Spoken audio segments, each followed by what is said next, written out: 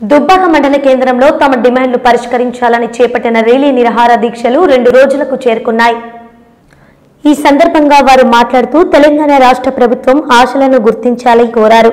అలాగే ఐదు నెలలుగా పెండింగ్లో ఉన్న పారితోషకాలను వెంటనే చెల్లించాలని వారు డిమాండ్ చేశారు. ఆశలు ప్రతిరోజు ఉదయం ఆరు గంటల నుండి రాత్రి తొమ్మిది గంటల వరకు అన్ని రకాల పనులను ప్రభుత్వం చేస్తుంది. కానీ వారికి కనీస వేతనం పద్దెనిమిది వేలు అమలు చేయడం లేదు. ప్రభుత్వం నుంచి వచ్చే యూనిఫామ్ సంవత్సరానికి ఆరు ఇవ్వాలని వారు కోరారు. చాలా చోట్ల ఆశా వర్కర్లు ఆర్థిక ఇబ్బందులకు గురవుతున్నారన్నారు. ఈ కార్యక్రమంలో ఆశా వర్కర్లు శోభ శ్యామల సుమలత మంజుల శారద తదితరులు పాల్గొన్నారు.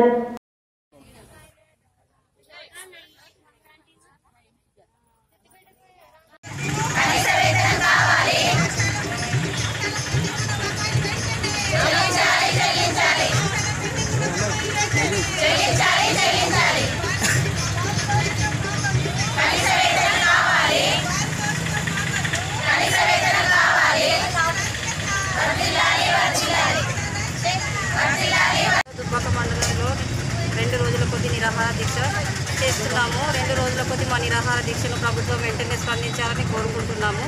మాకు గత ఆరు నెలలుగా పారదర్శకం పెండింగ్ అట్లనే ఉన్నాయి. మాకు చాలా ఇబ్బందులు ఎదుర్కొంటున్నాము. కుటుంబ సమస్యలు చాలా ఎదుర్కొంటున్నాము.